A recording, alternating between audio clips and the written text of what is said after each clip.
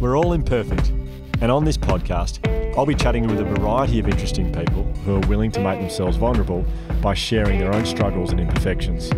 Like I just wanted to go back to being a kid, like who's Wow. no one knows who you are. You're mm. just a son. I don't want to be going and play in front of millions of people and everything gets picked apart. Like I just want to be the kid who's sitting there with mum and dad. I'm Hugh Van Cuylenburg from the Resilience Project. And I'm Ryan Shelton from My Mum. And I'm Josh from Hugh's mum. And this is The Imperfects. God, it feels good to be back. It really does. I'm giddy. I feel like I said that last year. Yeah, I think you said it in the intro, in the trailer rap as well, but Did I really? yeah. Giddy? Oh, um, yeah, I'm twice as giddy. Okay. I'm giddier. Yeah. My giddy is up. Giddy up. Okay. um, so yeah, so I I'm just so excited. It's I'm great. just- It's great to be back. yeah, I mean, we had like the, the preseason training last week. Like we had Mm. like our first sort of like non-episode. It was a bit of an unnecessary episode. I don't know why we did it. There wasn't a lot of helpful stuff in there, really. No. I don't No. think. No, we well, don't there need to- was sleeping positions. That's true. Unless someone found themselves in your sleeping position. Then. but anyway, yes. What what a, and what a way to come back as well with, with the captain of the Australian cricket team. Oh, Pat Cummins. I, Bef- before we get into Pat and, and getting Mm. excited about Pat, which we all are, uh, I just want to remind everyone if you didn't hear the episode last week that we did, um, which you may have missed, I reckon Fine. people tuned out about halfway through my. yeah, Sleeping position. Yeah. fair enough too. Yeah. Absolutely fair enough. Absolutely fair I'm enough. surprised we kept that in, but yeah. Yeah, more of a visual thing, really. Yeah. Yeah. So I just wanted to remind people, if you haven't heard, that this year on The Imperfects, we are adding a new weekly episode, uh, which is a little mini episode, which will come out on Thursdays. So this Thursday uh, is the first one. It's called The Imperfects. And that is like a flashback, short episode, flashback to an old episode from uh, years ago, maybe. Uh, just sort of playing you a little thing just to remind you of helpful things that people have said over the years. Um, and I just wanted to bring it up, first of all, to remind people to check for it on Thursday, but also to play the intro, which um, I don't know. I felt like if it just came out of the blue on Thursday, it would be a bit strange. so I just thought it'd be just want to a helpful. run now? Yeah, Yeah. just Okay. a bit of a soft Okay. launch. Okay. Uh, So can we can we play that intro? Yeah. Yeah, let's go. Hi there. I'm like the imperfects. Oh, yeah, sort of, but I'm a quick fix. If you're in a hurry or something. I'm a helpful mix of archival tips from episodes past. You can listen to me fast. Da, da, da, da, da. Get ready for this. Yeah, why not? Won't take long. I'm an episode of the imperfects. Yeah, so. Did you work in FM radio at all? Have you done that before? Is it that obvious? Damn it. Yes, I Oh, did. I love it. Uh, It's very good. It is very good. It's going to be interesting when it's quite a dark Or imper- serious. or serious imperfects for us to do an intro switch from that. Well, well, yeah, well, it will be interesting. But- You're right, Josh. It Yeah. will be very but interesting. that's the challenge of it, I guess. It's the fun of it. yeah, yeah. It's, it's very good, and I will. I will go back and listen to it again. Look, it's something we might change it along the way if it seems a little bit strange, which it no doubt is. So, uh, yeah, It's that's, brilliant. At least It's that's where really it's starting. That's where it's starting. Well, Yeah. speaking of brilliant, Pat Cummins. He's just. I have to say, I we we I often get asked when we have different people in the studio what were they like before and after the interview, and Mm. I can. I was very happy to report back to everyone who asked that he is everything you would want and so much more. Oh, he such a well, lovely guy. I'm not a big cricket fan, um, but I'm a big Pat Cummins fan. Patrizio. He's not referred to that very much, but yeah, I, Ever. ever. Um, but uh, he, God, what a lovely guy. Such good insight. So interesting to hear about Yeah. his life as well. Obviously, I Yeah. keep reflecting back on the wrong thing. I just, I really regret. Throughout that interview, I, I, I was very distracted by one thing, which you guys will probably know what it was, but I regret the shorts that I wore um, for that interview. Oh, I don't remember. It was, it was five days after I'd had my, um, I'd had the snip, I'd had the vasectomy done. Okay. Oh, yeah. And from the way it was reported back to me, vasectomy was you go in, they give you the snip, and you can pretty much go to back to work that afternoon, and it's Yeah. fine. But you don't have to wear the chaps, do you? that was, I thought it was just a choice. So I had a vasectomy done five days before the interview, and even when we looked when Pat was going to be turning up, I thought, no, no, five days is. I mean, I planned to train like running three days after Yeah. the vasectomy. Hmm. Today, what's today? So that so we had so Pat came in on the twenty third of December. Yeah, you came in just before Christmas. Yeah. I had the vasectomy on the eighteenth of December. It is now the we, we are recording this now on the fifteenth of February. Mhm. I still am in pain. Are you really? Yeah. That doesn't sound right. No. Well, there was a it was one hell of a process. Like the Well, I mean, yeah, it makes sense that it would still hurt. but no one else is still hurts for and no one else is there was one of the things you sign you sign a form saying these things might happen. And one of them, the things that you One of them I don't really want to know about.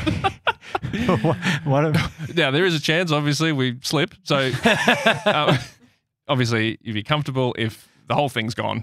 Um, when you wake up. yeah. uh, excuse me, doc. Uh, my dick's gone. yeah, no, you didn't read the contract. That's always a possibility. That is a possibility. We can Lorraine Bobbitt you, but um, yeah, you never know. You never, never know.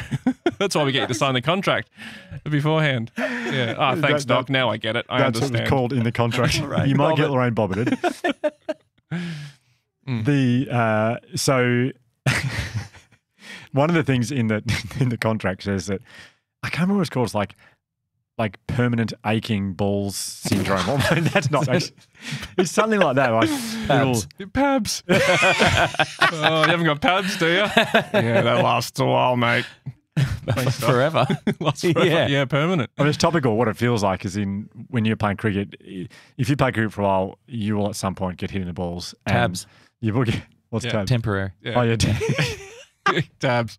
you'll get tabbed and um and you have that pain in your stomach for the next like five to ten minutes and it's awful. Hmm. I kind of have that still. Oh. Like yeah, so it's been anyway. Have you So- spoken to the doctor about it? Oh yeah, we have been in cahoots over the summer holidays. Good. Sounds like you're about to rob a bank. yeah, me and the doc are in cahoots. Ooh, what about? Just talking about my balls. Jeez. So I I sent him a message about a week after saying I think it's quite bad, and he said yeah, well it would be like seven days before that we just sliced open your Mm. Yeah, Yep. and um, and we we burnt things and then tied them off, and then we yeah. So it's going to be bad for another probably. Some people are fine, but you're obviously one of those people that's going to draw on for a couple of weeks. A couple of weeks later, it was Christmas. We were down at. It was just after Christmas. We were away with the family, and we were staying in a smallish kind of beach house. Penny's parents are there as well. The kids are there, and we have my gosh, having like kids running around at that height as well. Like it's just so dangerous. But the amount of times I'd At that height. well, just they're that Oh, hitting. Yeah, just like- yeah. Oh, Yeah. oh, oh, right, right, right, right. yeah, right, yeah, just where that perfect shot. Yes, Yeah. yeah. yeah. Anyway, so I'm in cahoots with the. I, I the, the surgeon said, "Look, I'm going away." I was really panicking with my Mm. message to him. I was saying, "This is not something doesn't feel right." And he said, "Look, if it's still hurting, you know, 20 days in, let me know." 20 days in, I'm in quite a bit of pain. So I sent him a text message because he gave me his mobile number. He's away down at the beach house, whatever. I'm picturing he's at a beach house, hmm and he said, um, would- he said, he said, would you mind um, sending me a photo um, of them? Mm. And I went, oh, he said, oh, don't worry, I'll delete them. Um, I was like, oh, I know, I didn't think you were going to, but showing all your friends. Yeah, okay. And I said, yeah, I, I guess I can. So he's essentially, when I say I was in cahoots with him, I was sending him dick pics. Um, Jeez. so I was in the This is bathroom. not the intro I expected to Pat Cummins No. all no. the season. I mean, I mean, to stay on trend, I was expecting no ball, but um, we got plenty. yeah. Very good. So I had to go in the bathroom, and I I was like, I'm, I can't believe I'm doing this, but I took photos for him, and I Mm. thought I'll I'll go up really close just in case Mm. anyone sees the photo. It's like only obvious to him what it is. Mm. And I Oh, sent it to him. and He said, "Oh, I'd like to be able to see everything if that's okay." Can I see your face? So Yeah. I went. I had to like go back and do it again and photographed everything for him. And so I sent it through to him, and he, he said, "Look, it's." He said, "Well, actually, depending on the details, he said it's actually infected, and that very, very rarely happens." Mm. So, So, you, was- can, you, can, you, can you send him again? But can you put like a footy player's uniform on when you send it? and like a, I don't know, can you just like get a bit dirty? Be interested to see it from that point of view. So um, anyway, so the whole point of the story is that I sent him these pictures, and he diagnosed what was going on, and I straight away deleted them from my phone because the, one of the kids' favorite. Um, we've managed to keep our. I'm not no judge from people haven't. We've managed to pretty much keep our kids away from devices. They Mhm. think the only reason you have a device is for photos. We let them look at our photos. Oh, yeah. Like, well, I better take these photos off. So I deleted Mm. the photos. And the next morning, we're all sitting around the kitchen table, and I'm sitting next to um, Anne, my mother-in-law, and my iPad was there. And one of the kids said, "Can I look through your photos?" And I went, uh, "Yep, it's rest time. You can do that." Yep. And I opened up the iPad. You hadn't removed the photos yet? I had from my phone. Oh, but not And I thought iCloud. I thought that meant that they're all gone. It should be, but it probably hadn't sunk yet. And because I had to have quite a few goes at it, I haven't chatted to my mother-in-law about this yet. I don't know if she saw. It was like like my one of my kids opened up the iPad and it was just this collage of like oh my god! But does it look medical, or wow. or you were trying to impress the doctor? So you It was a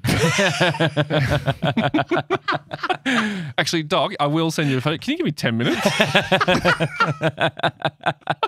it's not quite ready. Just got out of the pool, so I might just.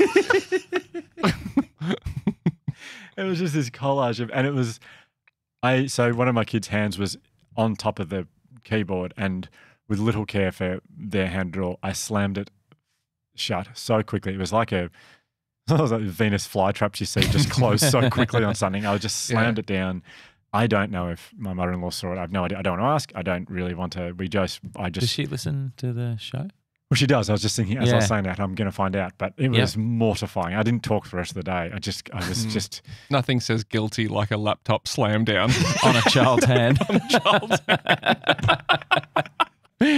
Okay, so just also to be clear, like I didn't, no one's hands were hurt. I did. Yes. I was, of course. I slammed it, but in a nice way. Yeah. Yep. Does that make sense? It, yeah. Well, Well- at least you got context now. yeah. Yeah, there's context for it. Anyway, do you know No. before I went into the um, operating theatre, you feel quite vulnerable before any surgery. Yeah. Just lying there, Mm. and I saw all the staff when I opened the door. There was like seven or eight staff in there, and I'm thinking, gosh, all these people are going to see me with my Yeah. pants down. That's a bit of a weird feeling. Mm. And I was lying there thinking, well, I mean, no one knows who I am. It's fine. Like it's it's it's just another operation for them. And even if they do, it probably helps that you're from a show called The Imperfects. oh, yeah, that checks out. Gee, even on brand down there. Anyway, this guy came over and goes, wasn't going to say this, but mate, love the podcast. Oh, Love the podcast. And I felt so uncomfortable that That's, her- that man, Yeah. yeah. It's not, we didn't really pick the right year to put all our episodes on YouTube, did we? so we're going to have to have like photography included in this. We're going to have to have some supporting visions. Yeah. Yeah. Anyway, sorry about that, everyone. photos are well and truly deleted. Yeah, good. Anyway, um, from that to Pat Cummins. Yeah, all the cricket fans who've tuned in to hear Pat, what a treat. From around the world, hopefully.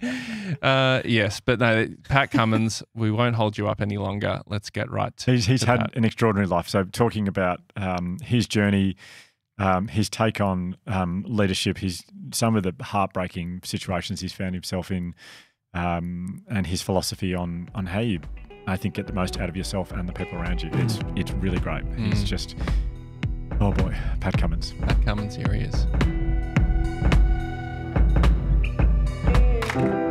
Well, I am um, I'm excited, but I know Hugh and Josh are insanely excited about this about this episode. Well, for two people who grew up just wanting to play cricket for Australia, and I think we still would like to play cricket for Australia. if it's an option, but I don't think it is. Yeah. Yeah, never too late. I think the Australian cricket captain is probably the pinnacle of where you, yeah. Pat Cummins is here, everybody. Yeah. Thanks for having me.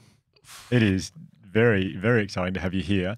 Um, how's this for a typo before we start? Just for, well, Pat knows because I made the typo to him, but Mm. Pat and I were messaging. I, I picked Pat up this morning from the hotel and I was messaging about, Never done that before, by the way. yeah, that is a new service that I haven't. oh, yeah. and you said last night, oh, I'll pick him up at 8.15. I was like, you're picking him up? Jeez, keen much? I do have a few errands tomorrow, actually, Hugh, if you wouldn't mind. Yeah, you, just, you just send them through, mate. That's fine. uh, and I was trying to work out when I'd pick him up, and I said, uh, finish by saying, anyway, mate, very excited to lick you up tomorrow. Whoa. Yeah, I actually just looked over your shoulder at your notes, Hugh, and the first, it's you've got like heading Pat Cummins. First line, lick him up. like, well, I don't know what this interview is. I'll let you lead it, Hugh. lick him up. you know, we just said Hey, that- I've entered very open minded, so That's great. Yeah. You just know when you're texting someone and, and like you said it's a typo and you're like, oops, sorry. Yeah. I was mortified. I was like, oh my God, it's terrible. Anyway, Brilliant. Yeah. Oh, how are you, Pat? well, thanks. Yeah, Good good year of cricket. pretty good. Yeah, Yeah, yeah, good. yeah, ticked a few things off. Yeah, knocked knocked over a few wickets. Okay. Um, Smashed, smashed some bails over. yeah, no, no, no. I get it. I get it. Sorry, here you. so let me. So I might. let me. let me. talk, let me talk. Shut up, Shelton. Um, I the other thing that happens that, that I've done for a first, which I've done before, is so Bridge will always write a bio for me, which I'll then look through and read out. And I said, Bridge said to me, "I'll leave this one to you. You probably know Pat's bio better than the internet does." Um, and I said, "I probably know it better than Pat does, to be honest." But, um, so I actually wrote it out. I actually ended up writing two pages as a bio. Wow. and are you, gonna, are you planning on reading them? No, so what I'm going to do is I'm just going to summarize. I'm going to do it. In, I'm trying to do it in, in 45 seconds. Just Okay. I'm going to try and summarize Pat in 45 seconds. But Great. um, objectively speaking, Pat is one of the greatest fast bowlers of all time. Um, and by the time he finishes captaining Australia, he will also be um, considered one of the greatest captains in the history of the game. Um, Well, now I'm nervous. I'm nervous. That's a lot. yeah, To... geez, what an opener. A lot to live up to. um, Let's let's see let's see if your first drop's just as good as the opening. oh my god! cricket. Yeah, yeah, that's pretty good. yeah. Um, I'm clearly not a cricket fan. would you would you call like the person who bats at three? Do you ever call them first drop? Nah. Isn't that what it is? It used to be. used yeah. to be, yeah. Growing Kids up, yeah. Oh, I've shown my age. okay. Uh, so Pat debuted for Australia when he was 18.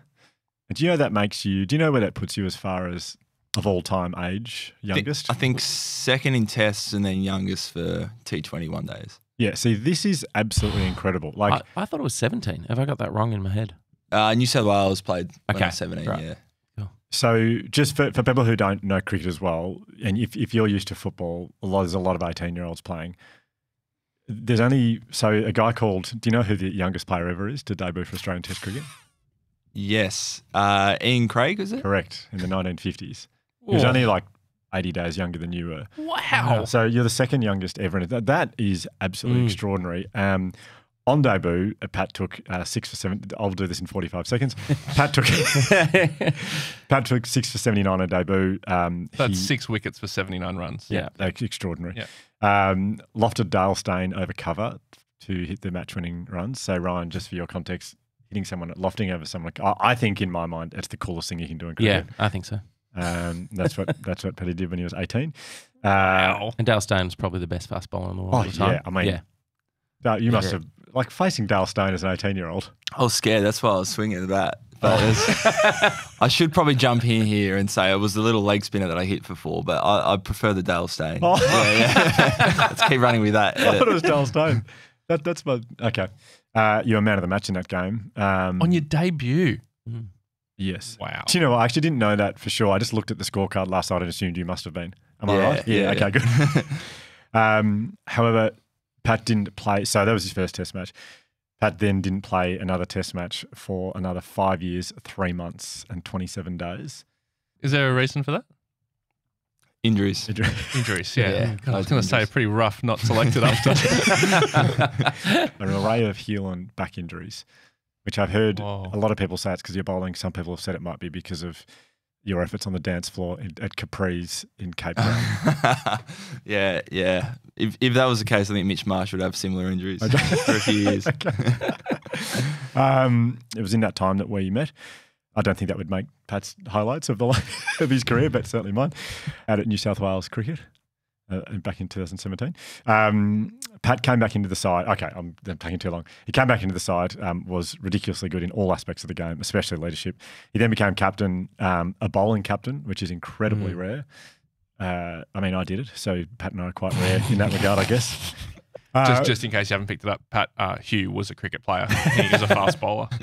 Just wanted to make that clear. And a captain, obviously. yeah, captain. I'm not sure fast was probably ever used to describe it, but that's okay.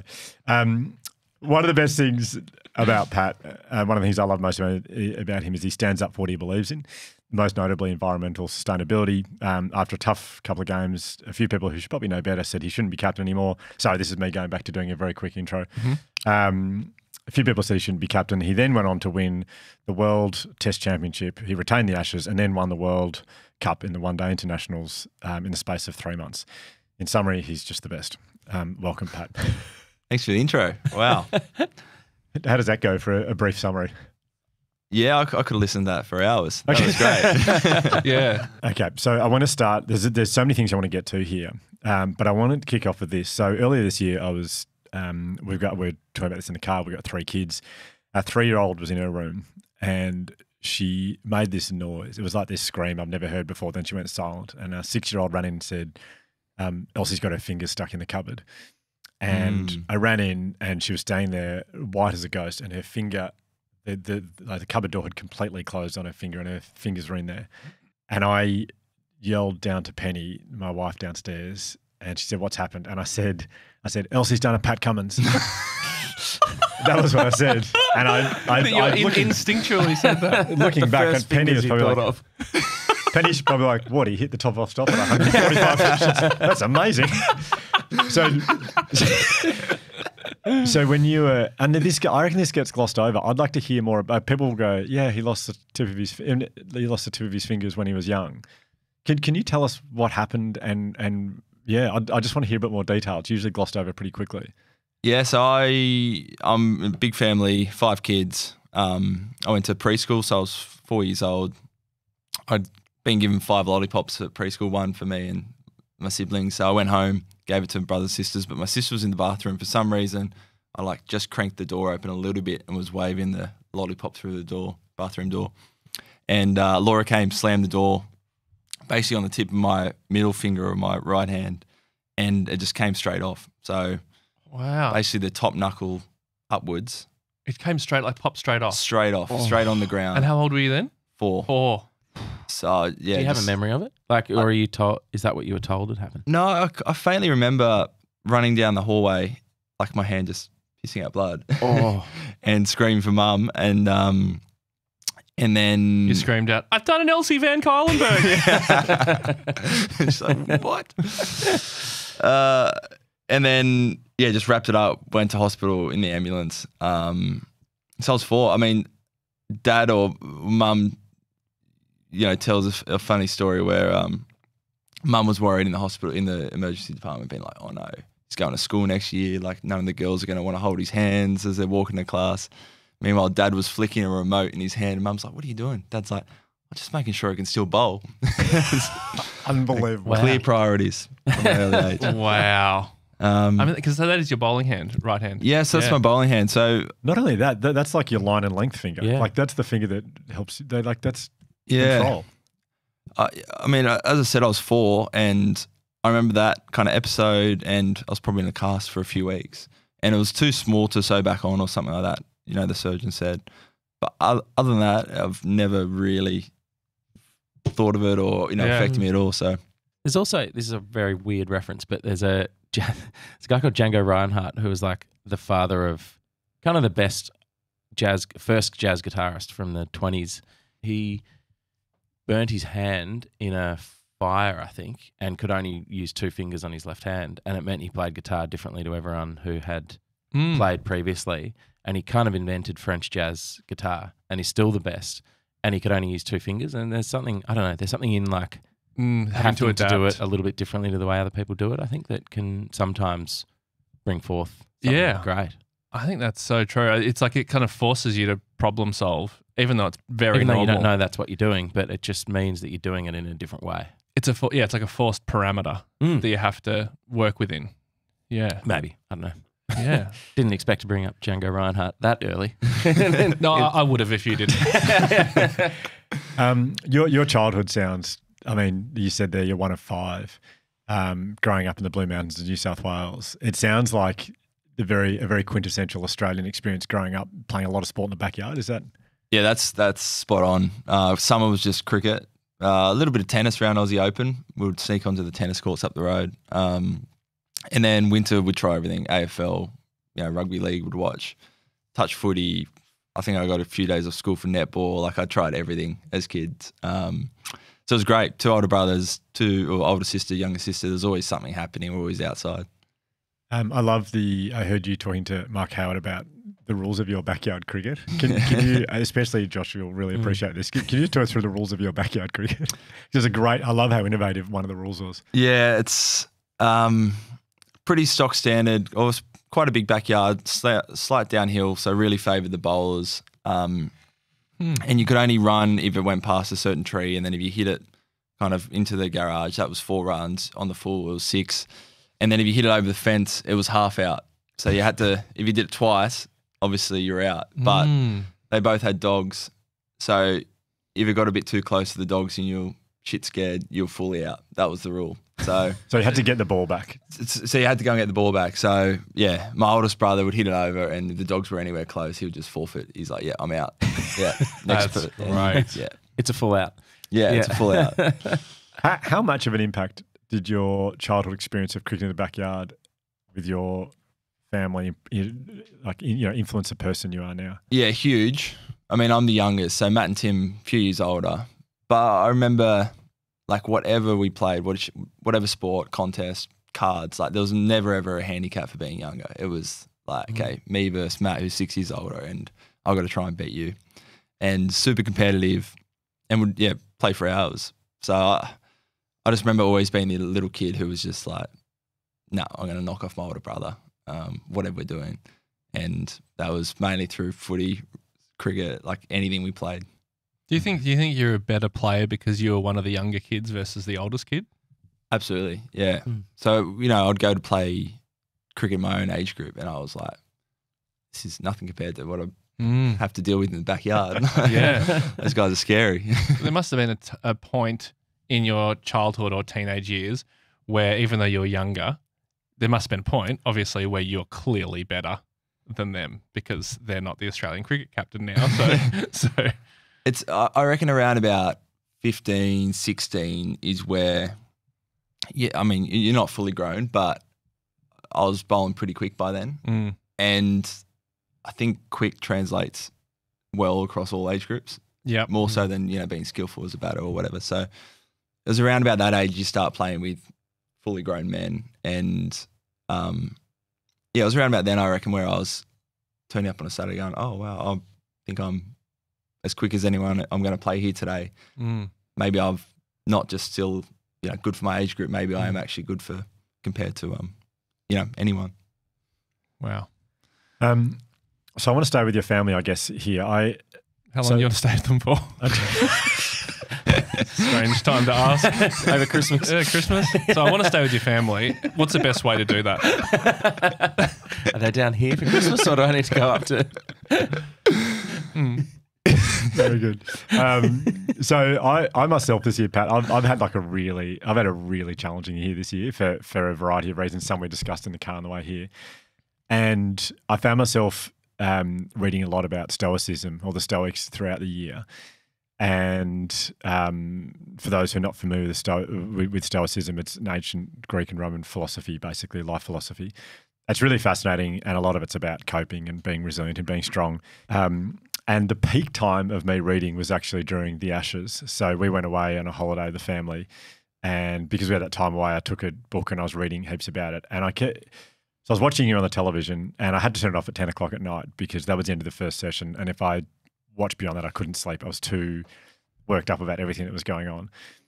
The amount of times I would read a quote and I'd think about you with all that you were going through with your life was quite extraordinary. And there's one I want to read to you here uh, because I, I read this and I thought of you straight away in the context of your 2023. So this is Marcus Aurelius on enduring tough times and, and, and prevailing. He says, Be like the rock that waves keep crashing over. It stands unmoved, and the raging of the sea falls still around it. I love that so much, but it makes me, it just made me think about you.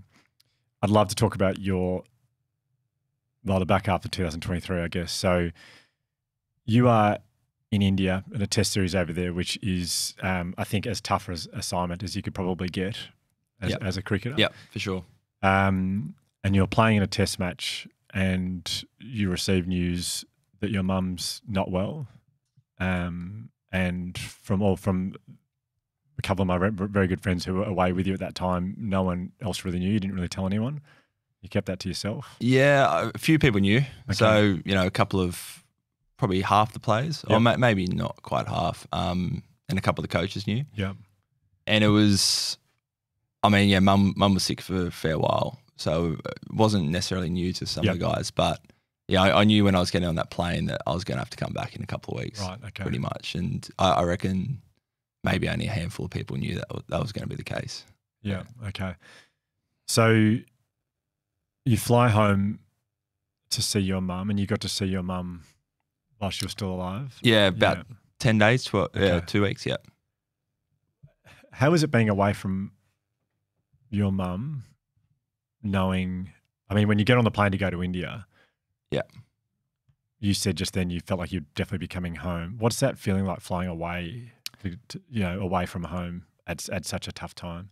Yeah, that, that that's I reckon the hardest time in my life, easily, and I I, I probably felt it.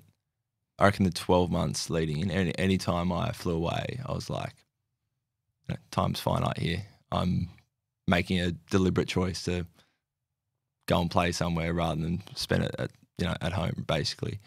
Um, but that time in particular, because yeah, we we kind of knew roughly the timeline.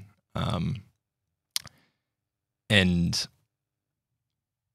yeah, and knowing mum and dad as well, like how much joy they get sitting together watching me play, I, I, that kind of gave me enough confidence to go and play. And they wanted, you know, they were desperate for me to go and, and play, and I knew I would kind of be able to hop on a flight anytime, come back. But yeah, like for those couple of weeks I was in India, especially now I look back on it, like my mind was not in India; it Mm. was back home the whole time. Yeah.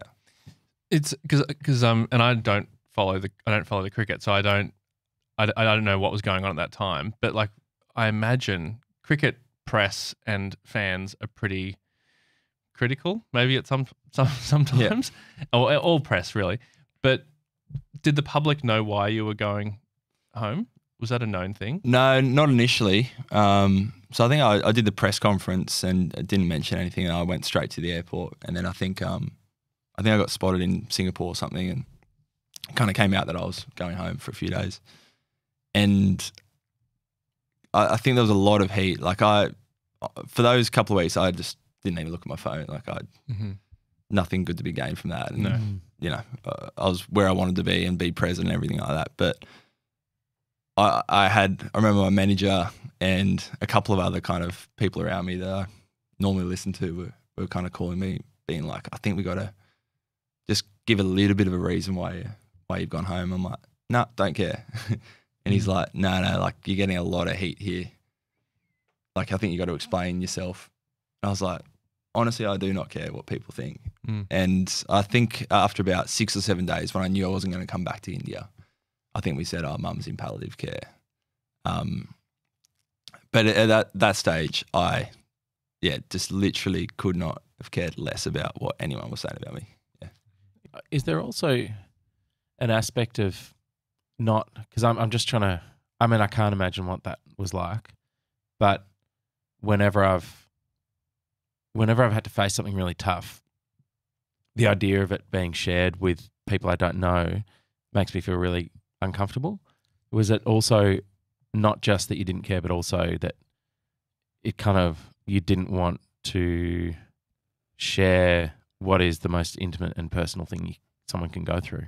Uh, yeah, hundred percent. And like, m- mum was a super private person. Dad is as well. So, like, I, I know, I know, mum wouldn't want any attention at all. Mm. So that's that's probably the the main reason. Um, but two, like, I just wanted to go back to being a kid, like who's Wow. you know just no one knows who you are. You're Mm. just a son. Um, and I remember that for those two weeks. Like, I don't want to be going and play in front of millions of people and Mm. everything gets picked apart. Like I just want to be the kid who's sitting there with mum and dad.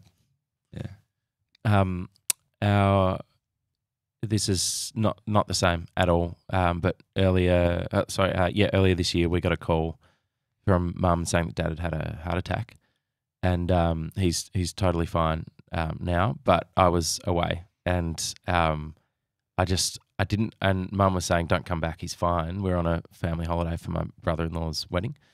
And but I just wanted to get back, like, and just see him. Um, and yeah, I, it, I, uh, it was, and I was really moved by what you said then um, about wanting to be a kid again, Yeah. because I just wanted to be a little kid and back with dad and play that. I just wanted to revert, even though like I spent so much of my life trying to be an adult. I Yeah. was like, suddenly I want to revert to just that old relationship, like more than anything. No, hundred percent. Um, yeah, and and I, I found myself thinking so much of my childhood, like since maybe having Albie as well, who's you know my two year old son, but Mm.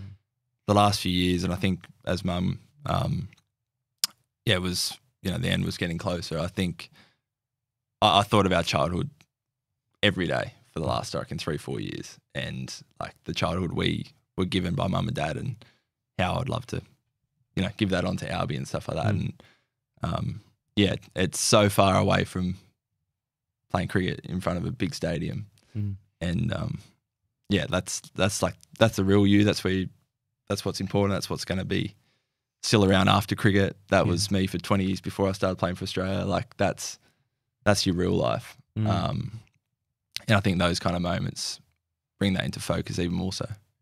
wow. Did Yeah. did it um, like when you hit, when you your mum's sick, and I actually don't know the story. So, um, what was was it? So she had breast cancer Breast about cancer, fifteen years ago. Okay, um, right. and then did all the treatment and was pretty good up up until about three to five years. I reckon the last three to five years. Yeah.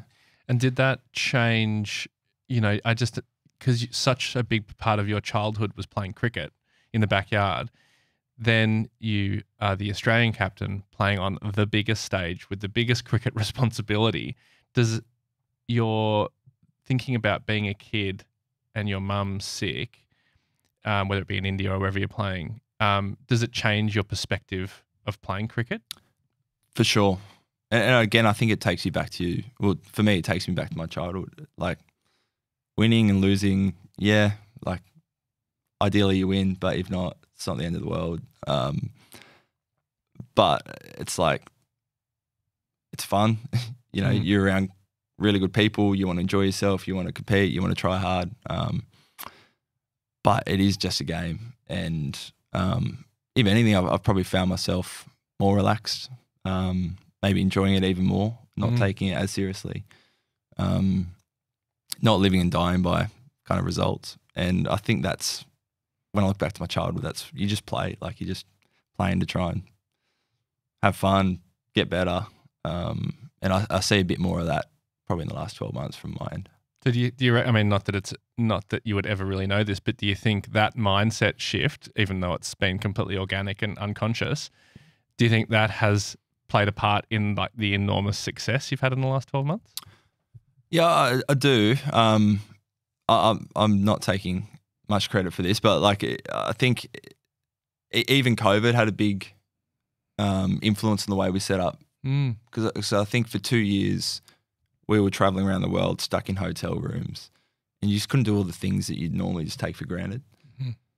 And you miss a lot of these moments, like you miss parents getting sick, kids being born, weddings, or even more so than we normally do. So I- I think our team in the last year or two have been really deliberate in, well, if we're going to be away from our families, let's make sure we're having the time of our lives and Mm. playing really good cricket, but it's a game. And pack your golf clubs, bring the coffee machine. Like, if you're in London, go and explore, go and see a show. Like, we're very, we're trying to create as much space in the diary for people to just be able to live their lives. Because, you know, a lot of the time during COVID when we're touring it, it feels like you're wishing the time away and you're wasting time. Mm. Um, and and that's well, that, that's definitely another lesson I learned from mum. Is like I don't want to waste any time. Like if I'm away, I want to make sure I'm still living life. Yeah. Love it. What is it? Um, there's all, there's something a shift that I think you were. It seems like you your going home in that time has been part of a shift that with players like I think, and I definitely don't need to know why, but um, Mitch Marsh came home during the World Cup for a few days and then went back again, and I feel like in the past they would have been there would have been this outrageous like how dare you do it's almost like how dare you leave like obviously and this Put dialogue. anything above the cricket team. Yeah. Mm. Yeah, exactly. Mm. Yeah, and that would be the way it was framed. But it seems that there's a shift from this from the outside, that a shift with leadership, and I don't know if it's where it comes from, but a shift that that's fine, and it seems to only be enabling better people and people to um, flourish. Is that a conscious thing, or is it just sort of evolved? I think it's evolved, but like we're dealing with humans here. Mm. So I think in the past, you you just no, you've got to play. Like, yep, you're contracted, or it's a game for Australia. Like, under no circumstances are you going to miss it. Mm. And to the point where you know people are missing births of their firstborns and and things like that, and that's almost a badge of honor sometimes. You know, like Yeah. what would you give up to play for this Test Mm. match for Australia? Whereas Mm. I think everyone's just a bit more understanding now. Um, we play a lot. We spend 10, 11 months of the year on the road. So, I mean, if there's no leniency or flexibility, you'd, you'd miss everything. Mm. So we, we try and manage people as best we can. I think, you know, in the case of say Mitchy, you, he had a um a death in the family, or you know, even with mum, like, what's the option? You know, do I stay there and I'm going to be terrible and no good to anyone anyway because my Mm. mind's back at home and I'm not at my best. Like that's not good for anyone. So we, we want to make sure everyone's in as good a place kind of mentally as they can be, but like selfishly, it's also probably going to be bring out the best cricketer in them as well. You definitely don't need to answer this question. Can I play? Um, I, I'm really fascinated by. Do, do you have a memory of when you said bye to your mum? The moment you said bye to your mum, is that a, a memory that you have? Um, it's kind of probably like the last ten days, really. Yeah. Okay. um, where like I was even talking to my sister a couple of days about this, a couple of days ago about this. Like they were great. They were they were an amazing ten days. Like they were as good a ten days as I've ever had. Which when I look back, it's ridiculous when you say that. But all of us five kids were together um, with mum and dad and sharing loads of memories. Like it, it was, I, I wouldn't have changed that for anything. Mm. Like I'm, if I was still playing the third test match and missed that, I would regret that forever for sure. I'm not exactly sure how I'd answer this, but um, can you be re- ready to lose a parent? No, no. I, I mean, I, I've never experienced anything close to that. Like Mm. I was talking to my sister about this the other day. Like we're quite optimistic people, happy, always have been. Like never any trauma. Like we've had in, in a lot of ways idyllic lives. So you know, losing a parent almost hits harder sometimes because we're Mm. like, how do we deal with this? Like Yeah. we've had nothing even similar to this. So I think, you know, it wasn't sudden. So you kind of know it's coming and you make the most of those last, whatever, you know, months, years as best you can, um, knowing that every time's really special. But yeah, nothing, you know, it's a jolt. Yeah. Mm. Yeah. So you go through it. So you endure all that. You head back to fly over to the UK. Um, you've got the Test World Championship against India, but on the horizon is the Ashes, which is really is. I mean, I said before India is the toughest assignment, uh, but I, I do think the Ashes is the pinnacle of an Australian cricketer's career. It's it is the biggest contest, cricketing contest in the world. Having been through all that, you then come out and the first game's at Edgbaston, um, which is just the most. I mean, I haven't. I've been to the ground, but not during a test match. It seems to me to be the most brutal. Of Yeah, it's playing hostile. Yeah, as hostile as it gets. Yeah. From the crowd? Yeah. Really? Yeah, I mean, I was. It's mad. Yeah, it's um that that whole what was that pavilion? The Yeah. the, The, the um, stand Hollies. Is it the Hollies stand? I think Yeah. it is, Yeah. where they just. I think they're allowed to say whatever they. Well, they say whatever they. Yeah. The most horrific stuff. The most vile to the stuff. players, Yeah, to you guys? Yeah. yeah. So Um, you can't kick out 10,000 people, really. So They're all in. So is there like almost like an unwritten contract that if you sit in there, you know that you're you you can say whatever you want? it seems like that. Yeah. They all dress up and, yeah, by lunchtime they're smashed. They're off their head. There was a song they were singing. I can't remember what the song was, but the words, the lyrics for Travis Head is a C. That was the whole song. That was like that's wow. the, like those ten thousand people singing that. like, What's the subtext of that those lyrics though? I wonder. yeah, it works. Does it work on more levels? Or? and that was like this was an hour of Travis Head on the boundary copying that. So wow. It's it's one of the most extraordinary Test matches in the history of not just Ashes cricket but cricket. You guys have to chase two hundred eighty one in the final innings, which would be the highest run chase ever for an Australian side over in England. And you did it. You come off the ground. and you go into the changing rooms, and in the rooms there is your dad. Um, and I have this is Andre Borovec told me this story. A really good mate of mine who's one of the assistant coaches, and he said you hugged your dad when you came off the ground, and he said it is the greatest moment I've ever seen in sport. Oh, You hugging your dad. It's the My first time the family have been together. Do you remember that moment? I do, yeah. That was, yeah, dad was there and he was sitting there in the stands by himself. And like in 2019, you know, mum and dad did three or four of the Ashes tests and they were sitting up there in the stands together. And um, yeah, just seeing dad there, I was kind of like, he just looked a little bit like so happy, but didn't know what to do. So I was like, kind of dragged him up in the change room and just gave him a big hug. And yeah, we both just broke down. Just, just, just everything over the last few months had hit us. And um, yeah, that was just so special after you know everything that we'd gone through. And again, so much of our childhood was cricket with mum and dad. So, and I know how much joy they got over the last few years. You know, sitting together at home watching, and so I felt like she was really there as part of that moment. Um, so yeah, no, that was special. And like even, it probably goes back to, like I, I don't reckon I would have done this a few years ago, but Bruce Springsteen's like dad's favorite.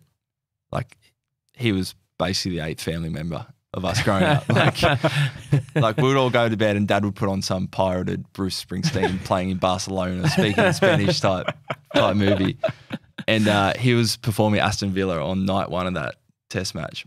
So I got tickets, took dad. So we'd field it all day and then hop straight in a cab from the ground straight to Aston Villa and saw Bruce Springsteen all night. So he, he'd had a hell of a week, dad. wow. I, Yeah. I, I do love that, the visual of that though, and the way um, Bora, one of your assistant coaches, told me that story. It was, um, you know, I, I think about our dad as well being a big part of our cricketing journey. Dad loved cricket; was an amazing cricketer himself, and anytime Dad was just there, just sort of felt special. And so to have won the first Test off, you know, to be such an, an incredible partnership that you're part of, to have him there with the context of what you've been through, what a beautiful moment in sport. Yeah. And Yeah. the, the other thing I'd say to that is Andre Borovec has watched more sport than any man I've ever met. so for him to say it's his greatest ever sporting moment, uh, it, it certainly adds weight to that. Yeah. Wow. Um, so loss is not. I mean, loss isn't. You say before you've lived a blessed life, and it sounds like you very much have. Loss, however, isn't a completely new thing to you. Um, 2014, the cricketing world was rocked by the death of Philip Hughes, um, an incredible young man, incredible young cricketer who was killed doing what he loves, playing cricket. I think most people probably remember that incident. Mhm. Um, there's in Yeah. a Shield game. I, I've actually never heard you talk on this before. I haven't heard your because I one of the things that really fascinates me is that he he was hit by a bouncer, so a short ball that was effectively meant to hit him. Yeah. And a big part of what you do is trying to intimidate and scare batsmen. You do it better than anyone in the world. Um, uh, I'm interested how that made you feel at that time. Yeah, I was so I was at 2014, so I would have been 21. Um, I w- I wasn't playing that game. Um, I was actually at the SCG that day, but but wasn't playing. But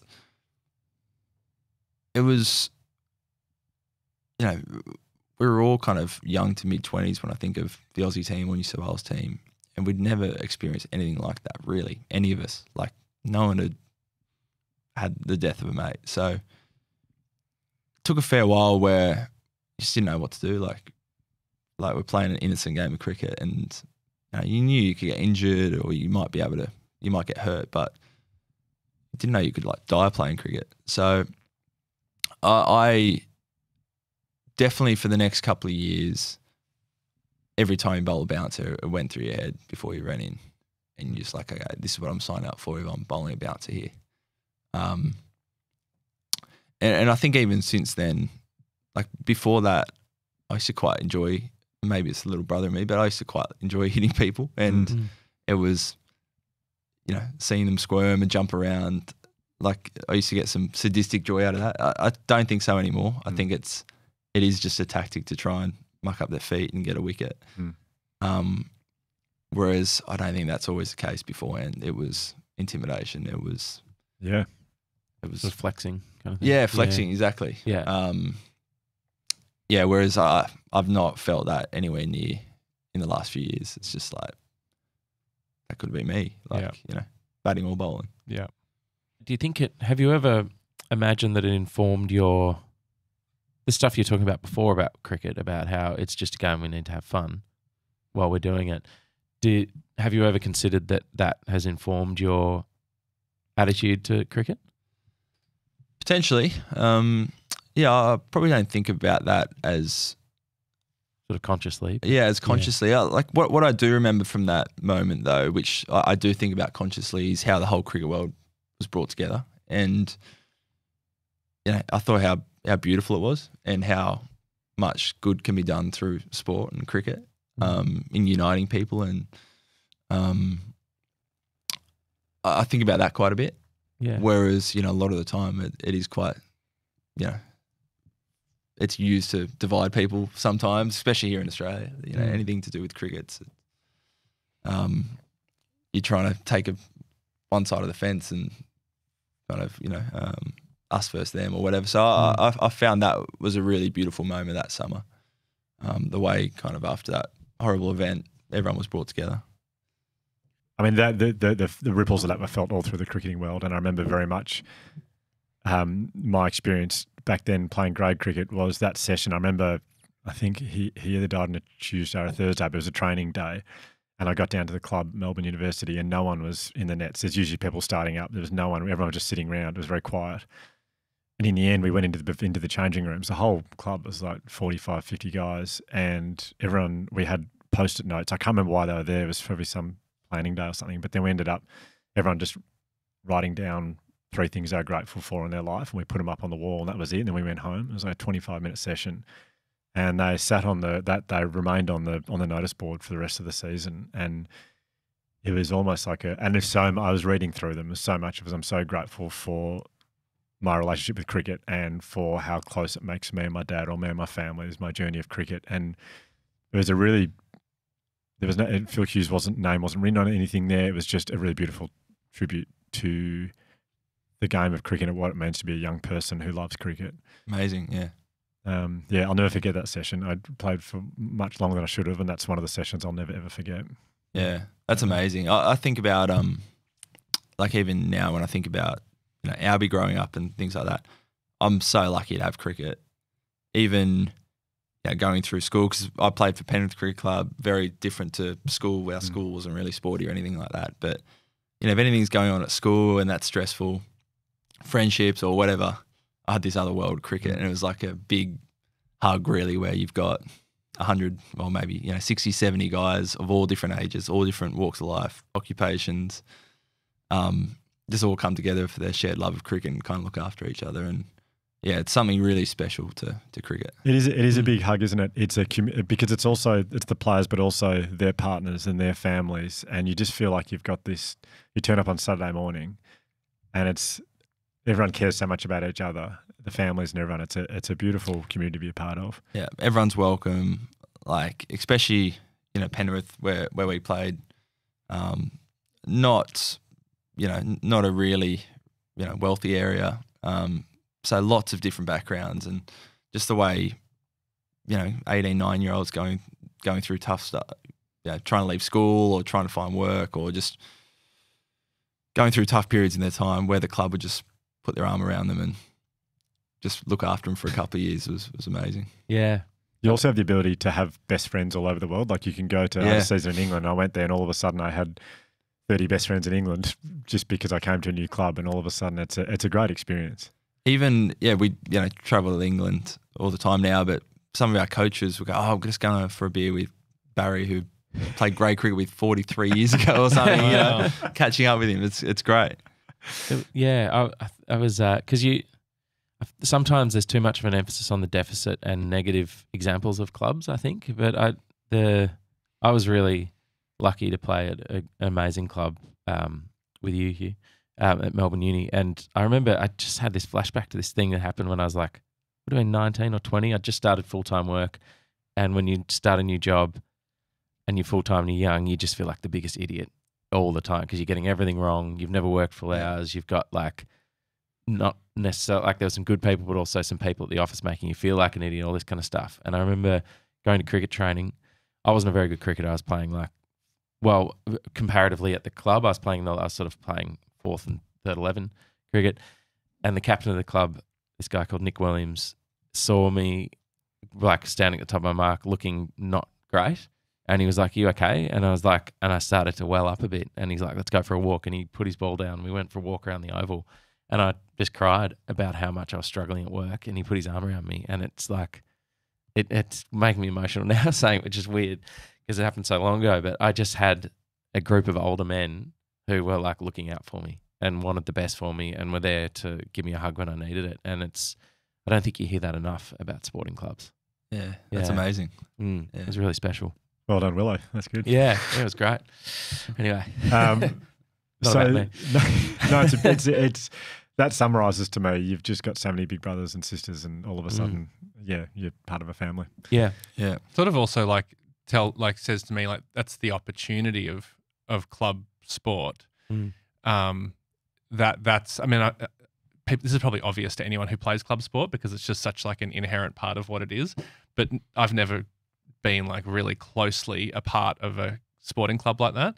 So to me, I just think, oh, well, that completely changes the goalposts. Um, it, it completely changes the the view of what a of what a club of what a club is and, can be. Yeah. and what it can be. can be. Yeah, Mm, yeah. yeah. and any team, any group of people, I think like that's.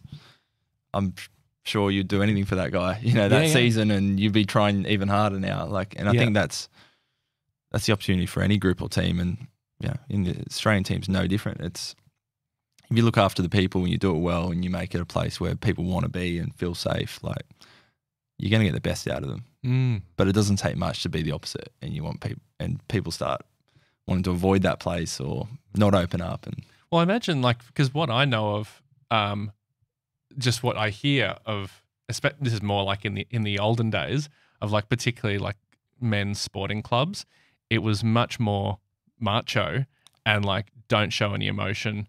You know, be you'd be very closed off, and we're here to play sport, and we're here to drink piss, yeah. and you know, and and that's it. And don't you fucking cry, mate. um, but it seems like it's changed a lot. Uh, I think that's like even in 10 years, I reckon it's changed a bit, like since when I first started playing. But I mean, I'm sure footy's the same, but cricket's so much like that, especially in the history. Like Mm. it, it was, if you're debuting the team, like, mate, your bag's going out the front. You're not allowed in the change room. Or, Yeah. you know, like you'll speak when you're spoken to. Mm-hmm. Um, you know, you're, you're four or five years away from sitting with us in this corner of the change Like room. literally. Oh, yeah, yeah. Mm. Um, it's just that's how it was. Mm. So like your experience, Josh, like that's yeah, you you're right. you're That's like, abnormal. Yeah, That, that's abnormal. Like that's Mm. that's not what we're meant to do. We're meant to just run in. If you're feeling sad, go and bowl a bouncer. You know, yeah, like, yeah, yeah, yeah, just yeah. bowl it out. yeah, absolutely. Um, so I, I think it is changing. Like I think the world's changing, and yeah, I hope hope clubs is changing. But my experience at Penrith was very much that was like you just bring yourself to the club and be whoever you want, and you're Mhm. welcome. Mm. Beautiful. So this podcast is called The Imperfects. I have this a story from um, Andre Borovec about you. He's, I don't, I don't. He didn't say where the tour was, but apparently you guys were touring somewhere, a lot of travel, and you you had a massive pimple on your chin. And and it was during the World Cup. Oh, during the World Cup. Yeah. Okay, and apparently the team manager was giving out everyone's plane tickets, um, and you asked if your pimple could have a ticket as well. and, then, and then at one point you said, and then I think you requested extra leg room for because of your pimple. he said to me that you are someone who really embraces imperfection as part of you as a person and also as part of your cricketing journey. Um, he says that you guys also in your team meetings, and you will drive this a lot, you'll talk about, and I love this so much. You guys will discuss how you want to fail during the game. Like, how do we want to fail today? I love that so much. Yeah, uh, well, I mean, first of all, like imperfections are funny. so, like, if if you if you're not highlighting them in a group of twenty guys, like it's a pretty dull environment. So, like, you got to take the piss out of yourself and, and have fun. Um, but yeah, we talk a lot about yeah how we want to fail, and I suppose the the subtext of that is like you will fail, so let's accept that and let's try and work out the style that we want to play. Um, so, for example, in, one day cricket, you can fail in a million different ways, but we want to be aggressive. We want to take the game on.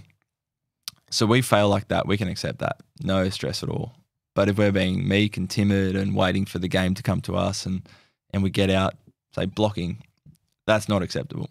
So I think once you start reframing how how we want to fail, um, how we want to play really, and, and just taking all stress away from failure, that's where you see guys play with freedom, open up, and that's what I think brings the best out of our guys.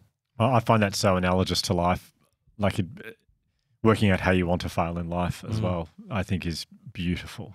It's I sca- love that. It, scare, it kind of scares me, to be honest, even just thinking about, like, even saying out loud or thinking about how you want to fail, because it kind of, it's you're really in a, a, vulnerable state when you're kind of like thinking actively about failing, particularly when it's around something that you care about so much. So if it's like, for me, if it's about, you know, making TV or even this podcast, it's like things that you care about when you think about failing at it, that is terrifying. Yeah. No, and and sport, there's so much pressure on us playing that the old kind of way of this is the biggest game of your life and basically all the Hollywood speeches. I don't think that's really motivating. I, th- I think it's the opposite. Like, how do we strip pressure away from the guys? Mm. So, you know, i- if you fail, people see that as the end point in your own mind. Like, if I fail this game, like you're not even thinking next week. Whereas I think the more you can de-stress it and think, okay, if we play this way, yeah, of course you're going to fail along the way, but over the course of 10, 15 games, whatever it is, this is going to bring the best out of yourself. And almost, for me anyway, it takes the pressure off that one instance, that like kind of short term, and you, it makes you zoom out and and look a bit longer term because, yeah, that's life. You're going to fail, and yeah, you got to know there's a road back. You'll be fine. Can can do you mind? Um, uh, and and I don't ask this with any story in mind because, like I said, I don't. I really I don't follow cricket at all. But on failure, is there a failure that comes to mind for you, which is like your big as a player, a big failure that you were able to kind of work through, or that really affected you in any way? Oh, loads, heaps. Um, and I'd say most of most of them come back to me being trying to play too safely. So, you know, as, a batter, I'm what we call a maggot stabber in a test match. Just, just Oh yeah, Can't yeah, score a maggot run. no, no, no, no, no explanation needed. okay, Um, yeah, no, actually, some explanation is, is needed. Sorry. well, like super rigid, like just trying to knock it out. And Okay. uh, well, this has made me a few years ago. I've actually never heard that expression. Is that a new? I think it's new. Yeah, Okay. I think it's a new cricketing Maggot term. stabber. Yeah, maggot stabber. How does it come about? Like, just like you're looking like you're stabbing maggots, like Oh. you're hardly playing a shot. you know, like yeah, yeah, not rigid. following through. Yeah. yeah. Um, and so for me, like that's not acceptable. I'm rigid. I'm not going to put any pressure back on the ball. I'm not going to score. So Mm-hmm. I, in the last couple of years, just try to be okay with getting out, playing a bit more aggressively at times. Um, one day cricket, the World Cup. I reckon for the last few years, I've been pretty safe. You're just like, okay, just don't want to go for too many runs.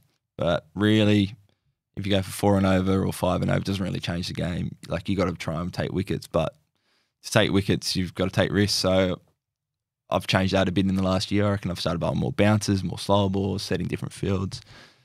Um, yeah, loads of times where I failed and kind of gone, well, if I want to be the best I can, I've got to take a few more risks. That- I mean, yeah, I feel like don't be a maggot stabber is a pretty good philosophy for life. put that on your put that on your wall on your inspirational poster. yeah. Wow, I love that. I'm going to read you a Stoic quote here, and I want to see if you know what it's in reference to, something that you said recently. The quote is it's from Epictetus. He says, It is impossible for a man to learn what he thinks he already knows. Uh, And I do have another one on a similar vein if it helps. okay, go for it. If you wish to improve, be content to appear clueless or stupid. Epictetus again. I can think of a hundred times I've, I've I've done that. Um, no, no You- specific. Like okay. I, I can probably give you ten specifics, but Okay, well, I'll give you the one I'm thinking of. You said the other day, and it was one of my favorite things I've ever heard you say. So, just Ryan, for background for you. So, part of as a captain, you when you toss a coin, you decide to bat or bowl, hmm and it's pretty much dependent on what on, on what the pitch looks like, what Yep. it's going to do. Yep. And so captains all around the world at any level will claim to know absolutely everything about the wicket, and it's such Oh, a yeah. flex Yeah. as a captain to tell younger players what the wicket's doing, what it's going to do. Well, surely if you're at the WACA, you'd be you'd be bowling because that's a harder wicket, isn't it? Get the fast bowlers out there. Yeah, possibly. Um, and so, and but it's like it's just something that's passed down to you from. Like Yeah. I actually look back, I didn't really understand, but I'd always take great joy in telling everyone in my team what the wicket was going to do, uh, at what point of the day, when it was going to get better, when it was going to be difficult. Even what though you this didn't grass know. meant. Well, I thought I did, but uh, looking back, I didn't really. Yeah, okay. I just pretended I did, and Yeah. I just loved telling everyone, younger players, like. And when I was right, I'd love going, yeah, we did, we did discuss this, how it was going to happen.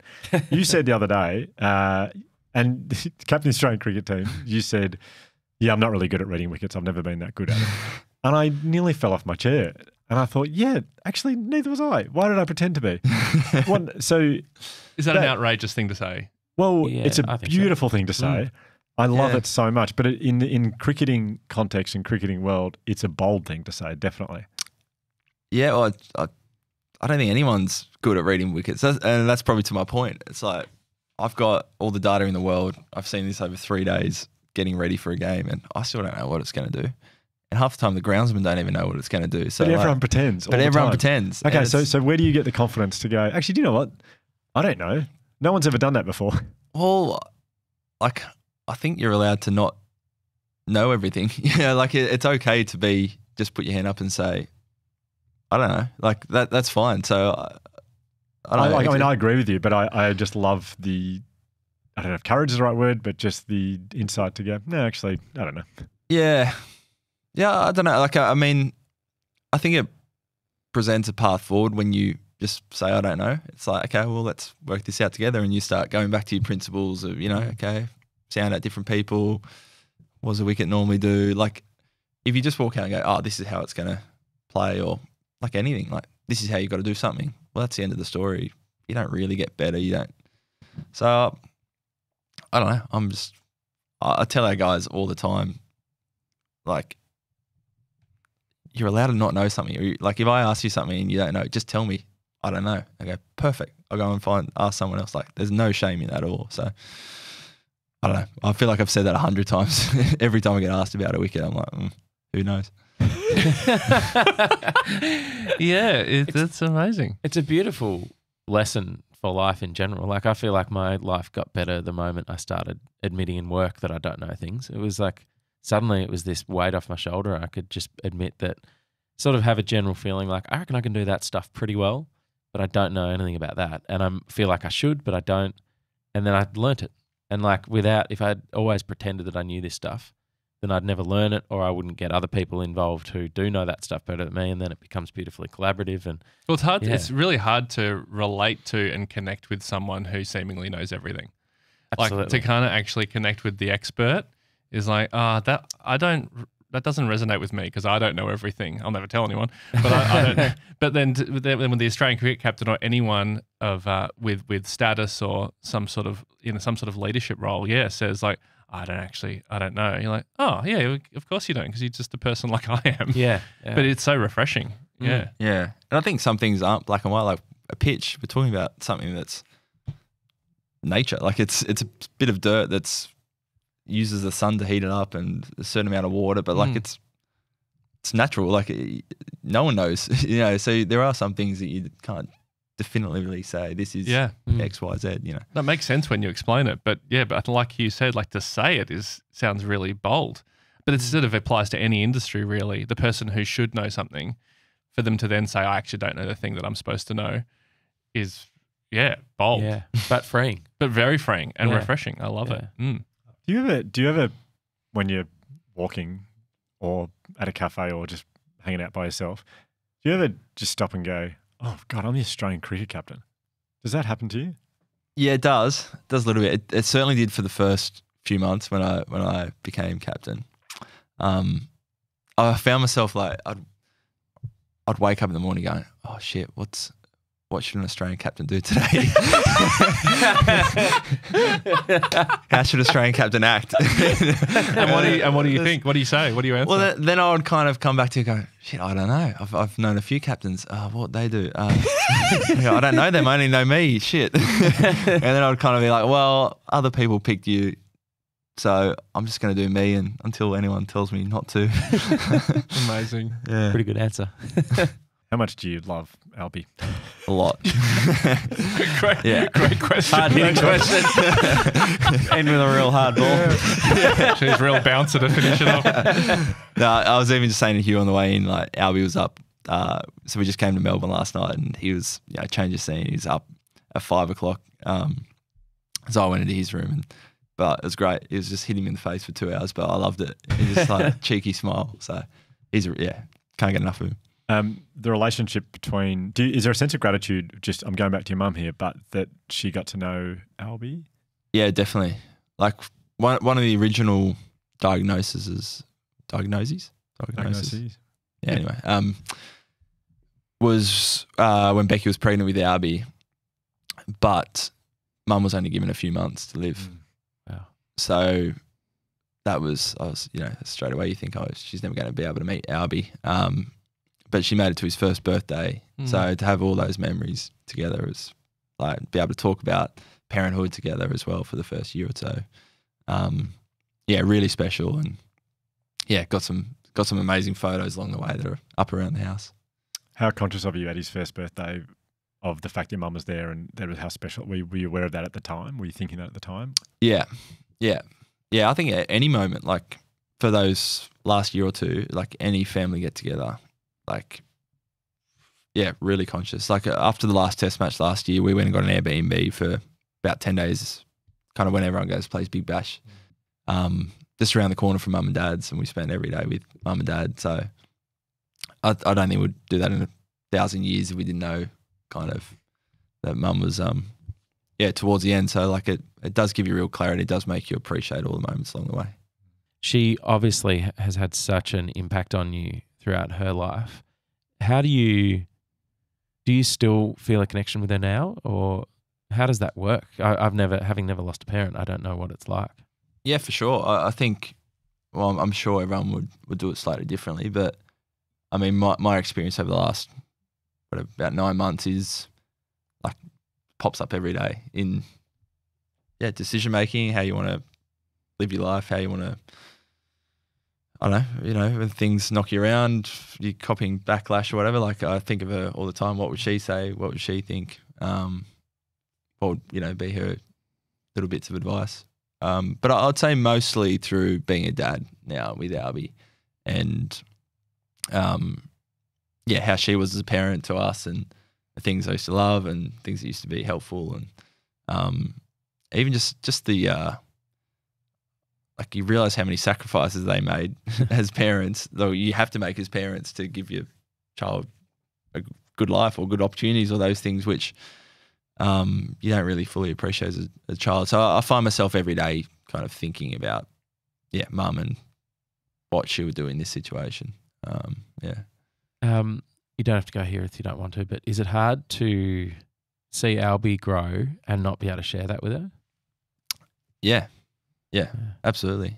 Um, again, like you, you think, well, you know, my, even my grandparents and things like that. Like, okay, you, you know, you're a kid, then you have kids, you're an adult, you become a parent, then you become a grandparent, and you kind of, you know, have Mm. those great years. Whereas, obviously, mum's was a little bit shortened, and yeah, it is hard because you're like, oh, she's done all these kind of things along the way and given up so much of her life to be a mum of five kids and um you know, almost you, you kind of in my head the grandparent years are kind of the happy years where you um you're sitting back enjoying kind of the fruits of your labor and, um so yeah i think that that's hard but she's with us you know every day and um yeah still talk about it all the time to Albie. Yeah. There's a um again a person I didn't think I'd bring up in this, not Django Reinhardt this time, but uh, Nick Cave um, in an incredible interview I heard recently, where he talks about the loss of his uh, son, and that you can, and that I'm going to get this wrong because he's obviously he's Nick Cave, he'll say better than I do, but the way he talked about when you that dealing with grief that you can sort of harden around the grief and sort of close off and it becomes a sort of hard defensive enclosing mechanism and then he talks about the opposite where you can lean into it and feel the universal experience of grief that everyone in the world feels. Um, and it can be an incredibly connecting um, way of dealing with grief.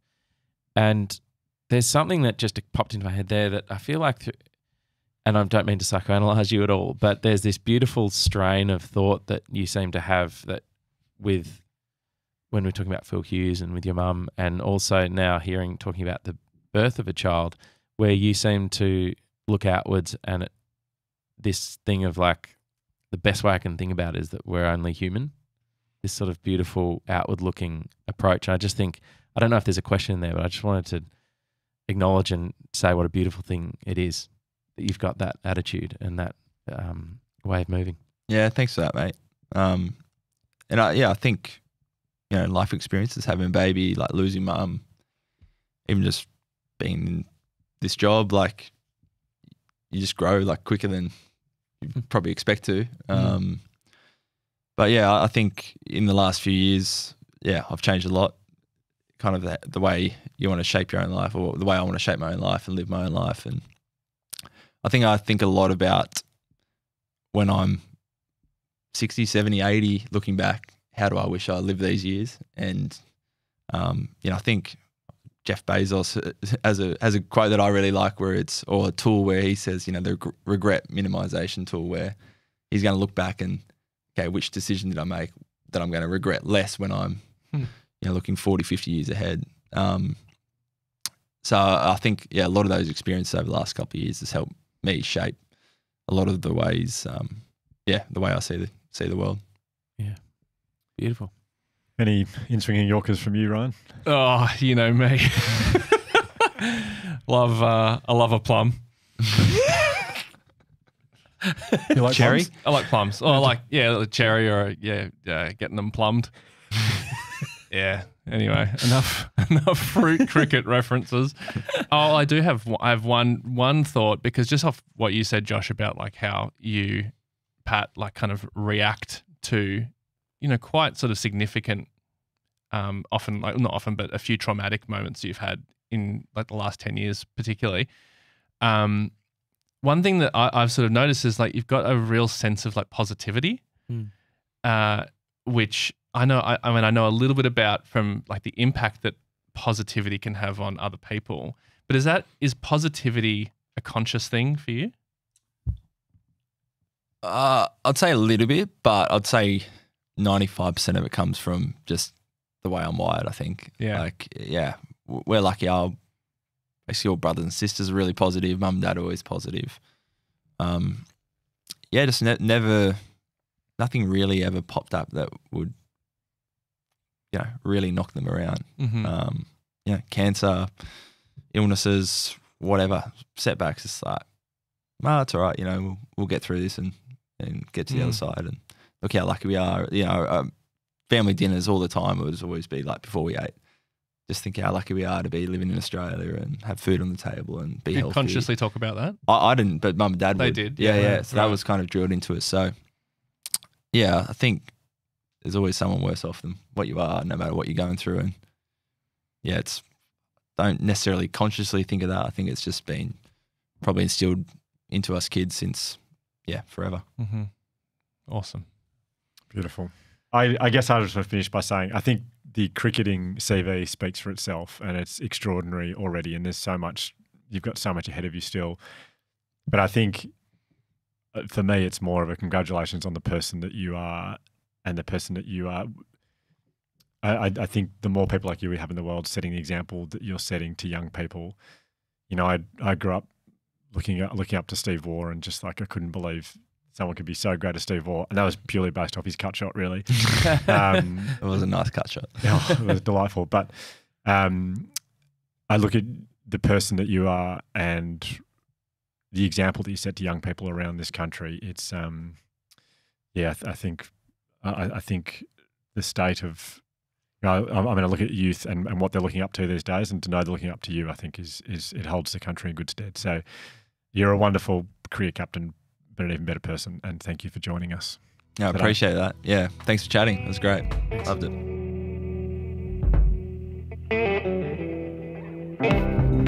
Wow. Well, I know I'm not a big cricket fan, but I feel pretty safe to say that the Australian cricket team is in pretty safe hands with Pat Cummins. What a and actually speaking of hands, how how the, I couldn't stop thinking about it during the interview. How's Elsie's fingers now? Is Oh, she? yeah. is- Oh, it was an awful moment because when she took her fingers out of the cupboard, they were they were flat. Like there were Oh. two fingers, the top above the top Flat? knuckle, they were flat, what like a cartoon? Like when like a something- like a yeah. pancake. Yes, like like, like you would expect. It was.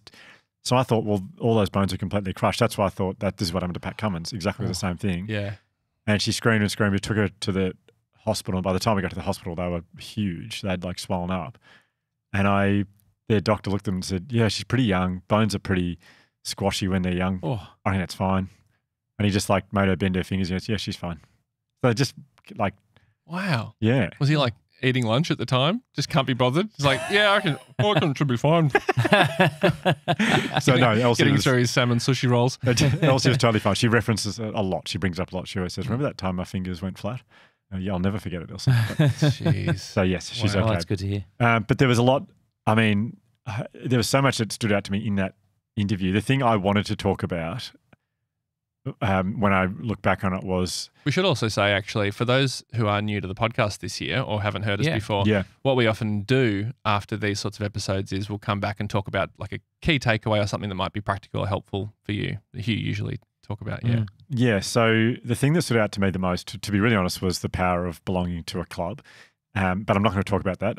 I was going to, and then Josh called me this morning and said he thought the most powerful bit, which upon reflection I think is very true, where Pat talked about identifying the way that they want to fail. Like Mhm. they talk about as a team, how do they want to fail today? And I totally agree, Josh. That is, I mean, for me, that is just the most amazing takeaway to get Yeah. from this. He talked about in reference to Mitch Marsh, who's a very aggressive um, batsman who who bashes the ball a really long way.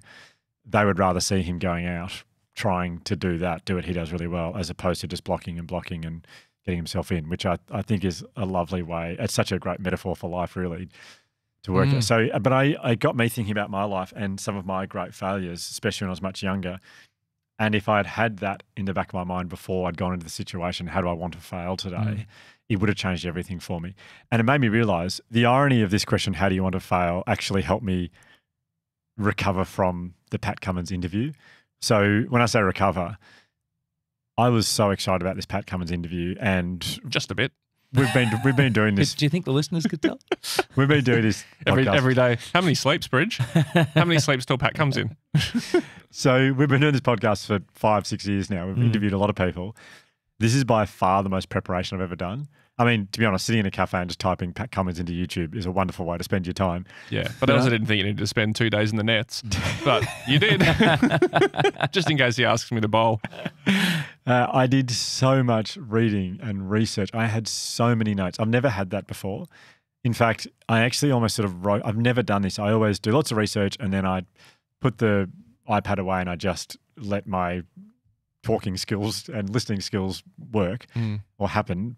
But I was so prepared. I had so many notes, I had so many things in my head that I was so disappointed. As soon as I said goodbye to Pat when he got out of the car, I was so down on myself for the interview. I thought that's the Mm. worst interview I've ever done.